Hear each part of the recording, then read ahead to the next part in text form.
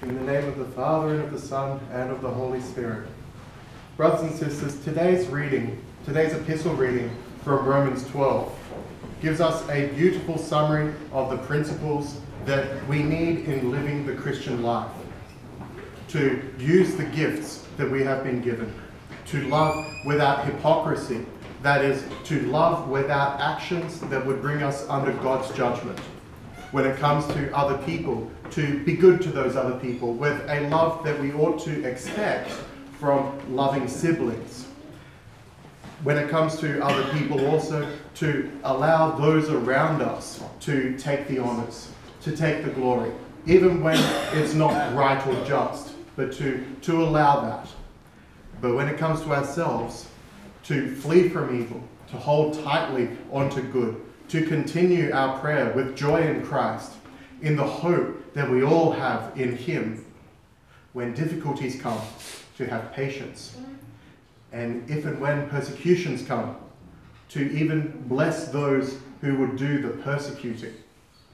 In short, St. Paul teaches us to diligently serve the Lord with fervor and without hesitation. Today, in a beautiful coincidence, we celebrate Saints Peter and Febronia. We celebrate how they crossed class boundaries in their love for each other. We celebrate their devotion to each other. We celebrate how they provided an example both of Christian marriage and even of Christian rule. This celebration even offers us a counterpoint to Valentine's Day, which is theoretically about romance and even has Christian origins from the, uh, the, the saint, saint who's named Valentine, but has, sin, has long since been corrupted into a celebration of the things that we can buy.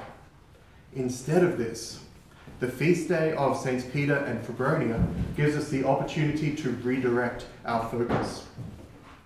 The point of an Orthodox Christian marriage and why it is that we don't just bless such a thing, but that we bring it in for and treat it as a sacrament is so well demonstrated by Saints Peter and Febronia.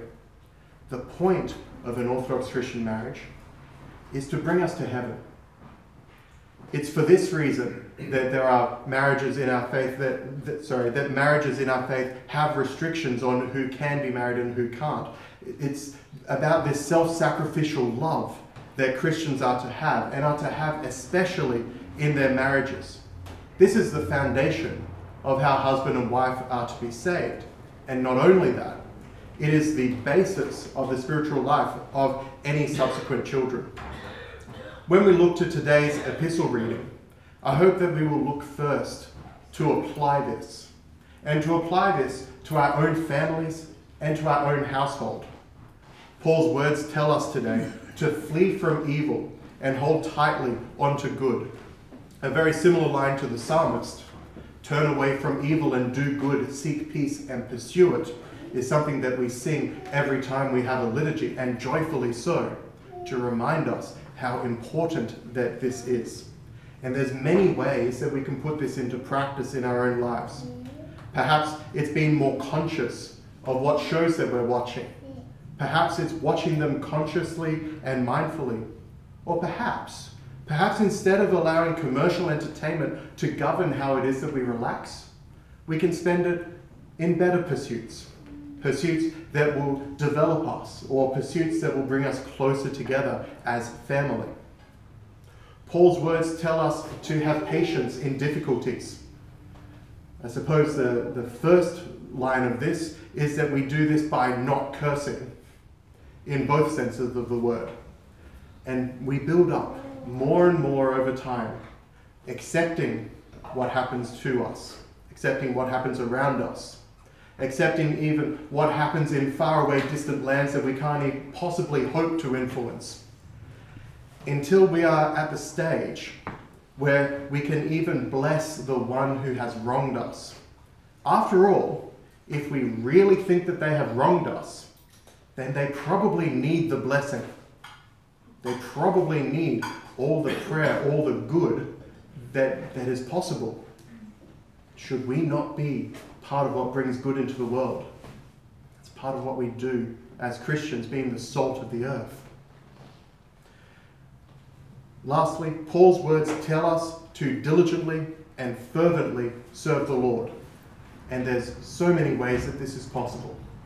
It begins with prayer and it escalates into the spiritual disciplines that, that we, we've heard about so often of fasting and charity and scripture reading and, and the sacraments.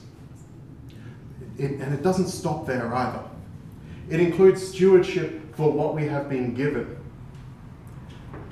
These things would include children and church and our own gifts, our own abilities and talents.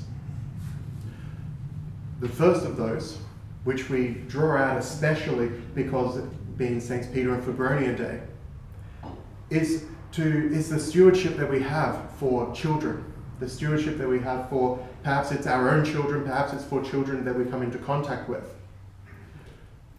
And especially for those who, who have the grace of having their own, what you're looking at is actually a form of evangelism. Because it, it seems like odd terminology. But how else do you describe it? How else would you describe passing on your faith to another. That is exactly evangelism. We don't think about this because it comes hopefully naturally to us. But that's what it is. It's a, a truism of sorts that children usually follow the actual beliefs, the lived beliefs of their parents. They follow what their parents' lives demonstrate. And it starts with really simple things. It starts with things like being in church and how it is that we show respect and reverence and prayer within, within the, the consecrated space that is a church. It's a week by week process of learning by proximity, of learning by showing and doing, sometimes with more success than others, and that's okay. That's the process part showing and doing. And that leads not just to these walls, but to all of life, to all of faith. How is it that we live this faith? How is it that we live out what we have received in, in today's liturgy through the rest of our lives, through the rest of our week, even through the rest of our day? How we do that is what we model to others. The second thing to, to bring up today is about the stewardship of a church building. We call this a temple, we call this a temple of God, and so we should. This, in particular, is one that is unique in this city. It's the, it's the one place where, we, um, where it is normal and normative that English is used, where we understand the, the language of the, the service all the words that are being said. And with the stewardship that we have, a stewardship is someone who, a steward, sorry, is someone who has the responsibility for something. Not the ownership, but the responsibility for something. And for us, our stewardship includes doing the best that we are able to while knowing that we will eventually be passing that on that we will be passing that on hopefully better than we found it. And so, therefore, we do all that we can, all that we can to glorify God and to show our glorification of God to those around us, to anyone who passes by, and to those who, thank God, walk in. And finally, of the three, the gifts to build up the body of Christ. These are things that we have stewardship over. Paul gives a list. He talks about prophecy and ministry. He talks about teaching and preaching. Talks about giving, leading, and mercifulness. But it's not an exclusive list. Elsewhere, he gives other gifts. And as we can see, as we know through our experience in parish life, there are many, many more besides anything from baking to building, encouragement, such a great gift. We've got a lot of no sayers in our world, but we can contribute very strongly to the people around us by being someone who encourages, by being like Barnabas, who was there to encourage Paul. through sharing the gospel, and through so many others. The time wouldn't even allow me to go through all of the possible gifts that there are, and each of us has them. Sometimes we only know because other people will tell us, but each of them, each of us has them. And this is how we are able to build up the body, to build up the body of Christ. We can't all we can't each of us have all gifts. But all of us may be able to have each of the gifts.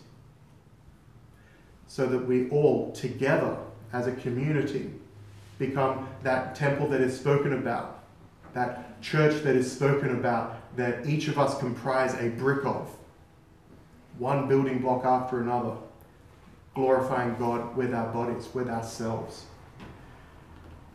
So, in conclusion, there is so much that we have been given.